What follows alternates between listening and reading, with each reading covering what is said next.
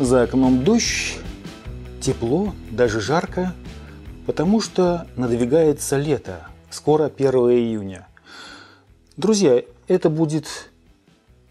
Это не реклама. Вернее, почти не реклама. Сейчас я сделаю одно маленькое объявление, а потом мы займемся всевозможными интересными делами. Я вам кое-что расскажу, покажу. Это у нас обзорные посиделки по болталке. Я даже приготовил тезисы, так что я даже, можно сказать, приготовился. Но поводом послужила вот эта коробочка. На ней есть наклеечка, на ней название магазина, с которым я сотрудничаю, Hi-Fi Go. В этом магазине на всех площадках в интернете с 1 июня по 7 июня будут грандиозные скидки до 30%. Цены на всевозможную такую технику, как вы понимаете, не очень дешевые, можно даже сказать дорогие. Все же правильно говорить цены высокие или цены низкие. Здравствуйте, друзья! Это я, Александр Щербин, и сегодня я иногда буду комментировать это видео за кадром. Но в кадре это тоже я, как бы Александр Щербин. Ну, 30% это возможность приобщиться к хайфилетическим всяким игрищам. На самом деле, вы видели уже, что вот то, что мне присылают, очень интересная техника, очень классная. Вот это, эти наушники были в прошлый раз, я вам о них рассказывал. Pilgrim. Я ими пользуюсь уже довольно долго, но для настоящего обзора я еще пока не созрел. А мне пока даже прислали следующий следующую коробочку с названием «Да Винчи». Мне жутко нравится это, э, это название. Кстати, я, конечно же, посмотрел в интернете, что сулят нам производители от этой фирмы. Что это будет за изделие, вы узнаете чуть позже. А пока я хочу вам рассказать, где начинается грань аудиофилии и, так сказать, раз, разумного почитания хорошего звука. Дело в том, что вот на примере наушников, если рассматривать, цены всех этих изделий довольно большие. Но точно примерно таки, такого же качества звука можно добиться с изделиями очень даже дешевого класса. Вы почти не отличите звука. Ну, вернее, как, как скажем, сравнивать изделия типа наушников, микрофонов, акустических систем – это довольно неблагодарное занятие, потому что они в принципе э, разные, потому что ну, невозможно сделать, вернее, почти невозможно сделать два одинаковых изделия – не будут отличаться даже в одной партии будут различия, потому что ну, это акустика. Можно сделать усилитель или проигрыватель, мобильник, мобильники одинаковыми по характеристикам, и вы не отличите ничего там, что будет происходить. Поэтому я иногда очень часто говорил и говорю до сих пор, что по-настоящему хороший звук вы можете получить с обычного мобильного телефона. Вот такой вот. Ну, я сейчас не буду здесь рекламировать никакие марки, потом назову то, что захочу акцентировать. В прошлый раз я вам показывал вот эти вот наушники. Вот они, кстати, здесь, в этой коробочке. И я не буду там сильно акцентировать внимание. Мне они жутко понравились. И они мне стали на, втором, на второе место в моем рейтинге. На второе место они попали только благодаря тому, что из них чуть-чуть слышно наружу. Не всегда возможно работать в них в студии. А так, качество звука и для мониторинга они просто идеальные и очень удобные. И, ну и заодно и красивые. Ладно, мы пока отставим эту часть. Дело в том, что аудиофильская техника, она кишит всевозможными излишествами. То есть даже вот вот в этом маленьком плеере, который, о котором я тоже уже рассказывал, я, я ссылки дам на, на обзор этого плеера. Очень хороший плеер. Я им пользуюсь в основном для тестирования всевозможных таких аудиофильских изделий, потому что отсюда можно получить ну, качество звука просто великолепное. Даже в этом изделии есть всевозможные технические излишества. Ну, я об этом подробно рассказал в этом обзоре. То есть, в частности, здесь просто используется для формирования балансного выхода два независимых ЦАПа. То есть, для формирования противофазных сигналов просто используется для одного плеча один ЦАП, для другого плеча другой ЦАП. И вот такая концепция присутствует в очень многих плеерах. В плееры даже вот я недаром открыл на моем компьютере, тут открыт плеер, и он стоит ни много ни мало три с половиной тысячи зеленых денег. Ну, это просто обычный Android плеер, в нем ничего особенного нет, но там акустический, то есть в нем привезена блок-схема, и можно увидеть, что там также применяется не только параллельная работа САПов, но и опять-таки для каждого плеча балансной, балансной схемы применяются отдельные ЦАПы. Вернее, там даже несколько ЦАПов, работающих параллельно. Это безумие, по-моему. Но самое интересное, что якобы погоня за таким качеством несколько ЦАПов, параллель ЦАПы, там чуть ли не отдельные файлы для каждого плеча – в этом плеере используются, догадайтесь, что? Радиолампы. В плеере лампы, причем разработанные специально для таких миниатюрных устройств. То есть такие лампы, они стеклянные, такие плоские лампы.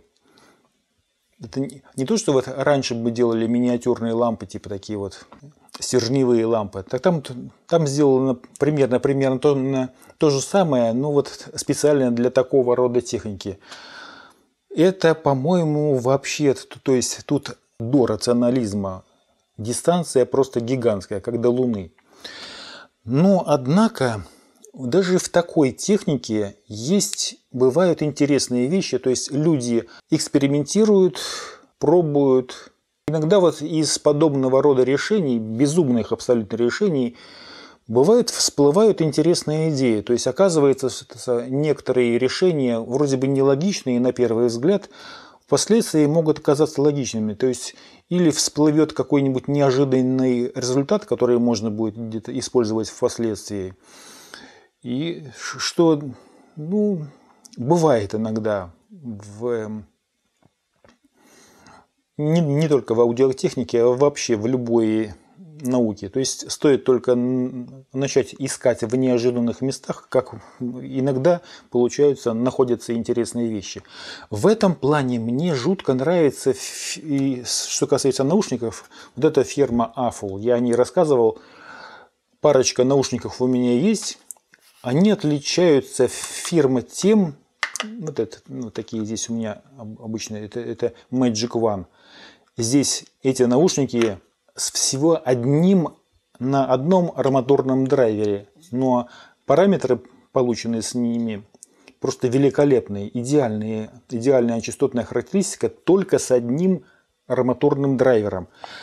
Эта фирма, ребята из этой фирмы, они используют в, каче... в качестве формирователя амплитудной частотной характеристики не только пассивные фильтры на RC или LC элементах, но и акустические резонаторы. Вот, вот я просто радуюсь, не могу нарадоваться ребятам из этой фирмы, которые делают эти наушники. Они достигают великолепных результатов.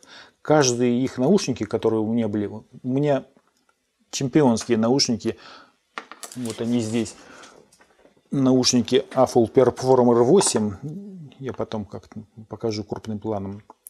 Вот они здесь. Это мои чемпионские наушники. Звук у них великолепный, и они тоже используют в качестве кроссоверов и фильтров, формирующих АЧХ, резонаторы. Сейчас у них зреет интересная, констру... интересная разработка. И потом мне ребята из этого магазина Hi-Fi Go обещали прислать новейшую, новейшие изделия этой фирмы Apple они сформировали АЧХ с помощью 14 арматурных драйверов, но на основе все тех же акустических резонаторов. Они их, там какой-то уникальный резонатор у них получился. Вернее, получился ли, что получилось у них, мы узнаем, когда я увижу это изделие и пощупаю его. А пока мне прислали вот такую коробочку да Винчи. Вот сегодня ее получил. Давайте мы ее раскроем, эту коробку, и я вам кое-что расскажу про нее. Дело в том, что у, этих, у этой фирмы Дуну, фирма Дуну, модель да Винчи. У фирмы Дуну я заходил на их сайт. Наушники всевозможные есть большое разнообразие по внешнему виду и по характеристикам они очень разнообразные. Мне там не все нравятся, даже по дизайну. Но вот эта модель совершенно новая. Вот только что они ее разработали, у меня и прислали мне вот эту модель.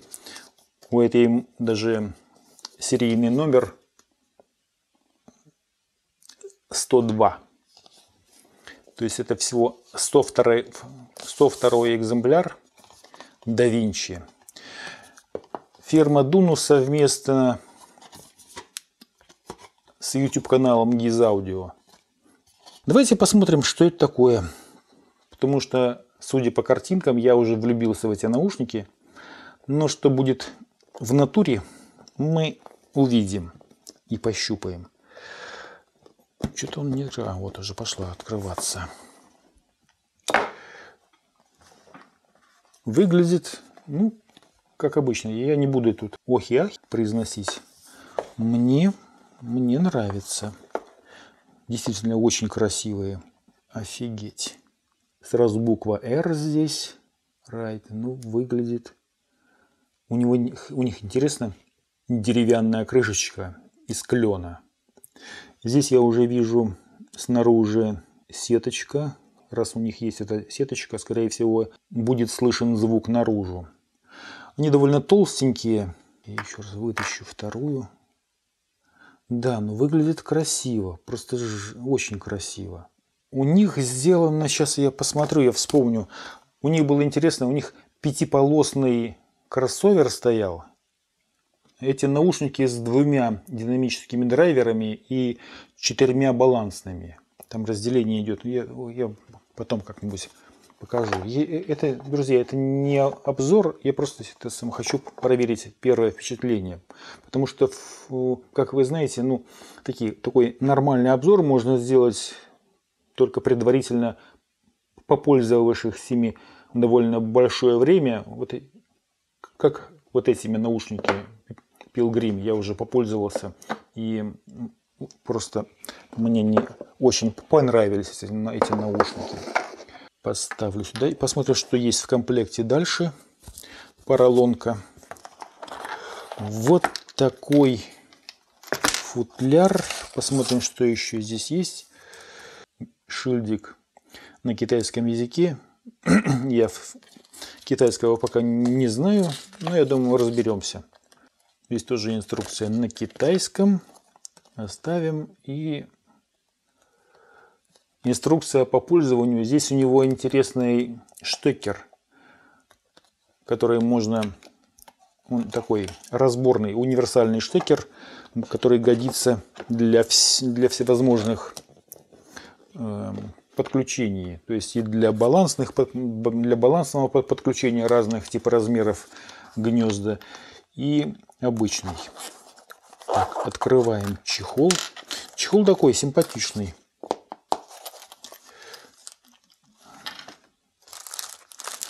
Вот всего, здесь я уже вижу, что здесь пакетик.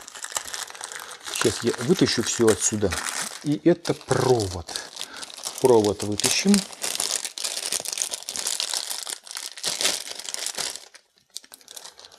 Так, я пока все эти шуршащие. Вот интересно, видите, даже кончики запакованы в пакетике. Ну, это мы пока отставим. Это трех с половиной миллиметровый ТРС гнездо. На сам этот провод нацеплен 4,4 миллиметра штекер я переставлю сразу на отвинчиваем, отцепляем этот штекер и цепляем сюда. Здесь все интуитивно понятно, потому что, в принципе, вы уже знаете. Кстати, кстати балансное подключение – это тоже чисто аудиофильская вещь. Но она, у него мало есть рациональных причин для, для использования в аудиофилии именно балансных, балансового подключения и акустических систем, и тем более уж наушников. Вернее, для акустических систем это еще можно понять, потому что иногда нужно Потому что балансный выход это в основном нужно для того, чтобы увеличить мощность. Только и всего. Вернее, увеличить мощность от, то есть и более рационально использовать источник питания. То есть можно от, от источника питания, который низковольтный, получить мощность в 4 раза больше, чем от однотактного усилителя. Хорошо, подключаем. Так, красный, это должен быть правый R. Подключаем.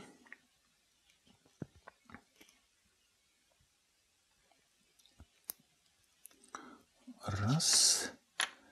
И левую подключаем штучку, чтобы нам послушать потом музычку какую-нибудь.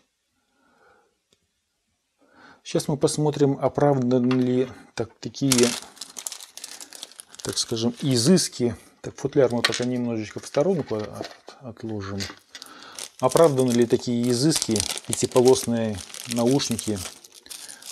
В принципе, как я уже говорил, количество драйверов внутри наушников, это вовсе не значит, что там чем больше, тем лучше драйверов.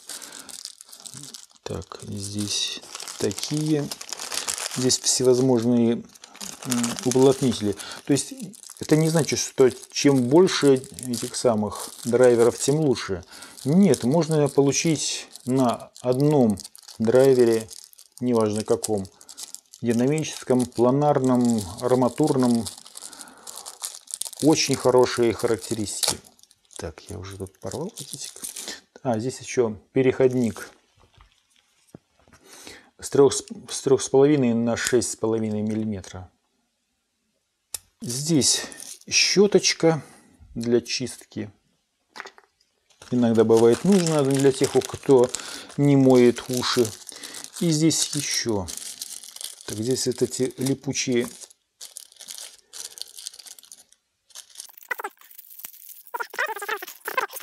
поставим мои любимые, ну, свой размер амбашюр. Я не люблю слово амбашюр в, в, в контексте наушников для, для, вну, для внутриушных наушников. Потому что амбашюры, по, по большому счету, знаете, что это значит?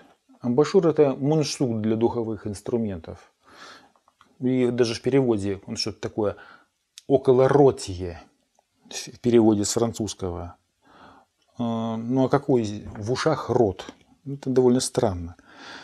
Так, размеры у меня средние обычно. Здесь амбашюрки, опять амбашюрки, просто уплотнители. В, в английском это называется ear tips. На французском я не, не помню, как называется. Пока монтировал, я вспомнил, как это будет на французском. Кусине дорейи – это для головных наушников. И просто амбу для затычек. И здесь еще одни. Вот нужно смотреть. В принципе, знаете, вот у этих уплотнителей, чем если большое, большое отверстие на выходе, то это так, такие более универсальные подходят. Если зауженное отверстие, то такие уплотнители подчеркивают низкие частоты. Я, в принципе, не очень люблю басы в наушниках, потому что ну, для какой-то конкретной музыки это может быть хорошо. Для частого использования и для мониторинга акцентирование низких частот это не очень хорошо. Особенно для моего голоса, потому что в моем голосе очень много низких частот, и если их не корректировать при мониторинге, просто звук получается не очень приятный. Так, сейчас посмотрю, какие вот... Слушайте, здесь, здесь интересно, здесь почему-то вот здесь зелененькие с очень узкой дырочкой, по-моему. Это поменьше. Хорошо, вот давайте вот такие я надену среднего типа. Я сейчас посмотрю. Ну, уплотнители должны стоять, должны сидеть в ушах герметично сделаны. Сейчас, секундочку. Знаете, что я вам скажу? По, ну, нормально, вроде бы должны сидеть. По удобству, ну, приемлемо. Я пока не очень, так скажем, мне есть наушники, которые сидят в ушах удобнее. В принципе, вот, эти вот, вот эта конструкция наушников для, так скажем, по удобству не всем подходит. Так, сидит. Сейчас я вставлю в ухо. Раз. Сейчас, секундочку, проверю. Да, села нормально. Ну, в принципе, нормально.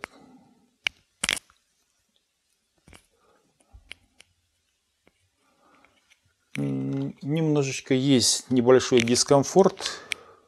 По удобству они пока не на первом месте. Я, я даже сразу поставлю как в качестве мониторов.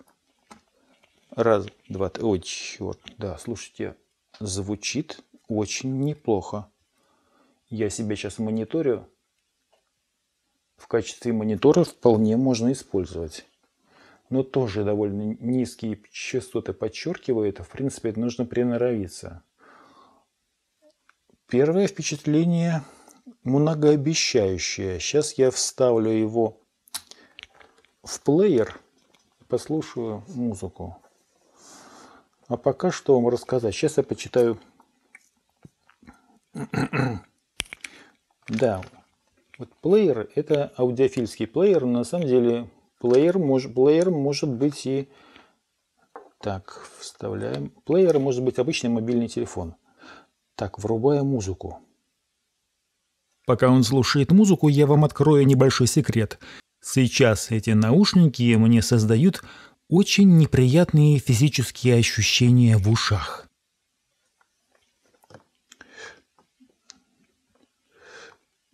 Знаете, я, я все-таки поставлю поменьше эти самые. По-моему, здесь какие-то гигантские. Сейчас посмотрим смогу ли я, потому что вот здесь эти уплотнители слишком какие-то большие, даже вот средний, это больше, чем мой, мой обычный, мой любимый размер. Сейчас я посмотрю, может быть мне сгодится и этот, хватит. Если будет низкие частоты, не будут? Нет, по-моему, все-таки маловато. А, стоп, это, это музыка такая странная. Нужно поставить какую-нибудь более эстрадную. Здесь просто пианино играет. На, этой, на, на пианине, на пианине ничего не распознать, потому что в рояле низких нет, там контрабасом не играют. Мы включим тестовую сразу фонограмму. Ну, как, уже, как вы уже знаете, тестовая фонограмма – это у меня Taylor Swift Me.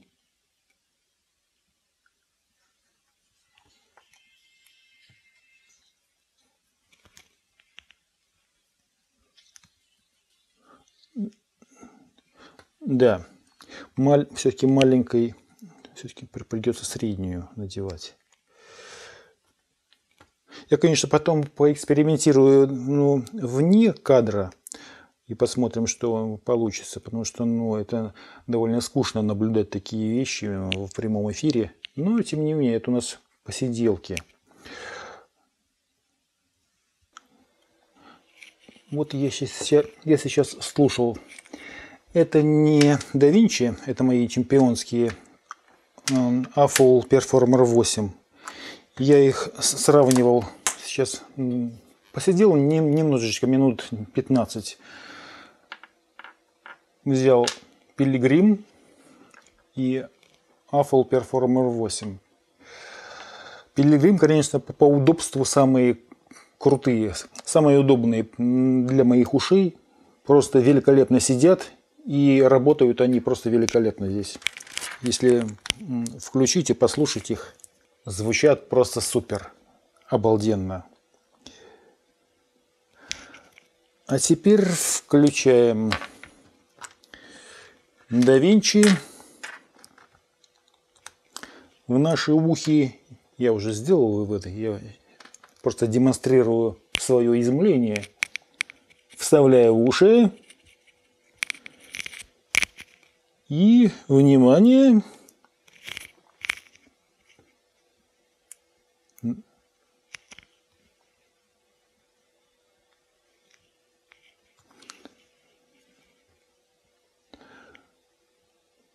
Отлично.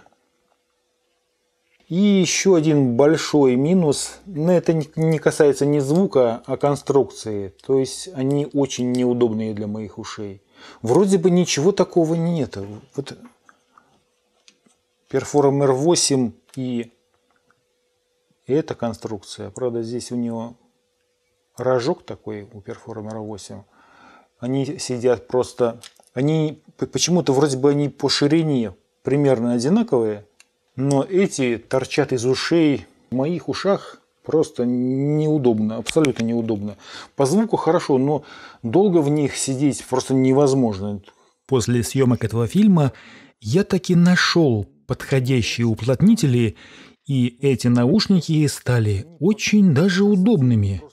Я даже монтирую в них этот фильм. Решение вот эта вот крышечка, крышечка деревянная, очень красивая, выглядит очень красивая. Я, может быть, еще, это, ну, это только первое впечатление, я, может быть, еще поиграю, может быть, поставлю за, ну, уплотнители от каких-нибудь других наушников. Я, кстати говоря, и попробовал уплотнители другого типа, вот эти вот цилиндрические уплотнители, они меньше акцентируют низких частот, то есть, если низкие частоты сильно раздражают, можно поставить эти вот цилиндрические уплотнители.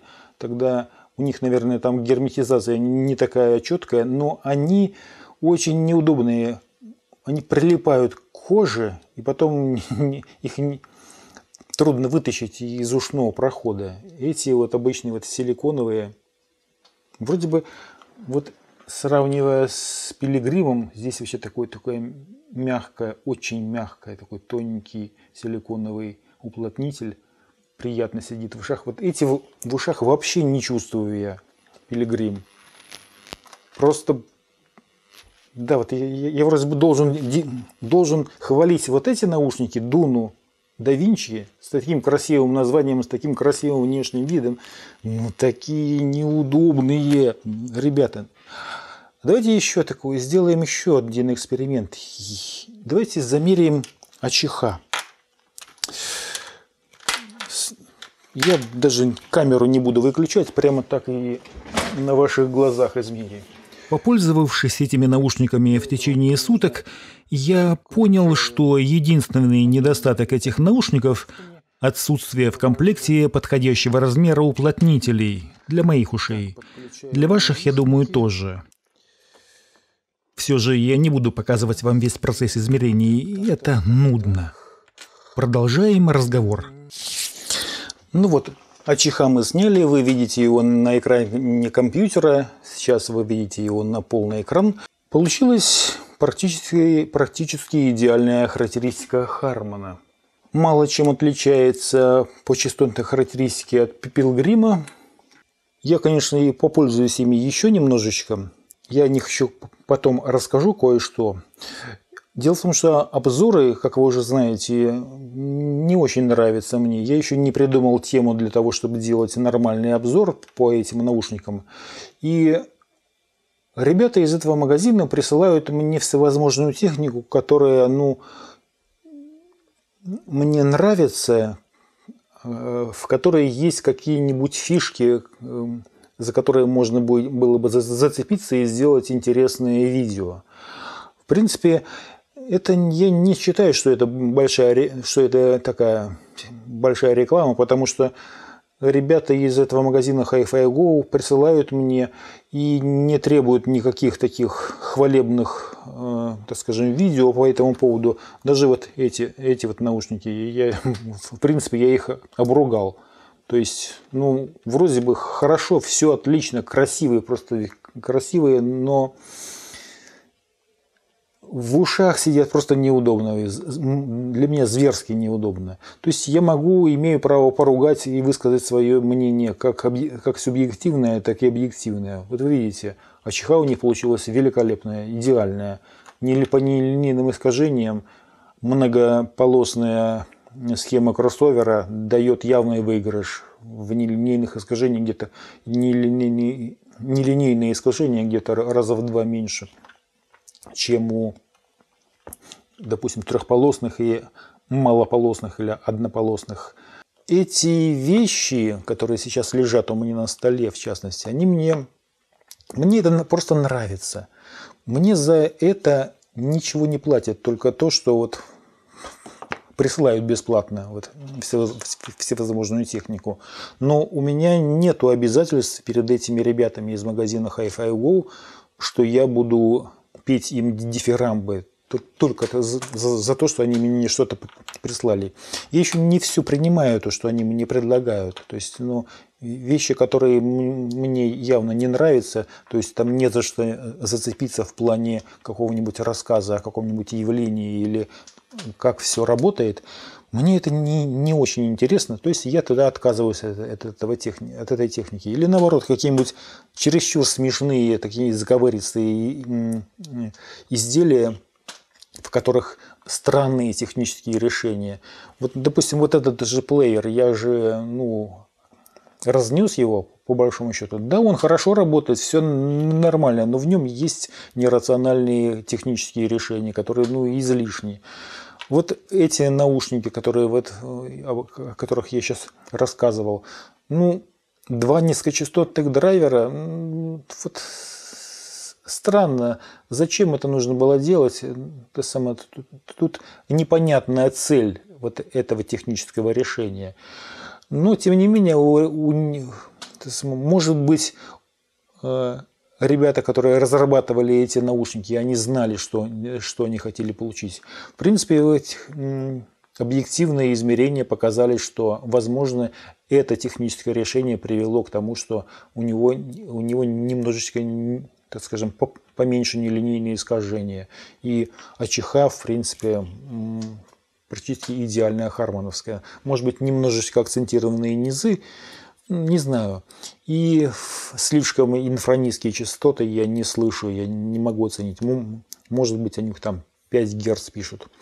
Кстати, вот эта вот надпись Хайрес. Я, я, конечно, не проверял, они сертифицированы официально или нет, но то, что подобного типа наушники... Да, внезапно закончилось место на флешке. Ну, вы поняли, это не Хайрес. Там нет никаких 40 кГц, вы же видели все на ЧХ. Нет там 40 кГц. Так, я выкинул лишние файлы с флешки. Продолжаем наш разговор. Да, а может быть, пора завязывать? Нет, э, минуточку. Еще раз напоминаю, что с 1 по 7 июня в магазине Hi-Fi Go будет, больш, будут большие скидки до 30%, в том числе на вот эти вот наушники, которые, которые я вам показывал, Pilgrim, Дуну да Винчи, Performer 8 и много разных других. Ну, практически, в общем, заходите в этот магазин, там уже сейчас опубликованы скидки, которые будут с 1 июня. Можете ориентироваться на мое мнение, можете приобретать свое мнение это не возбраняется.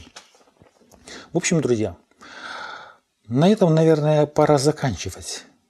С вами был Александр Щербин. Познавайте мир и делайте его красивым. Красивый мир, да. Красивый мир можно сделать вот с такими красивыми наушничками. Да, все-таки вид у него очень красивый.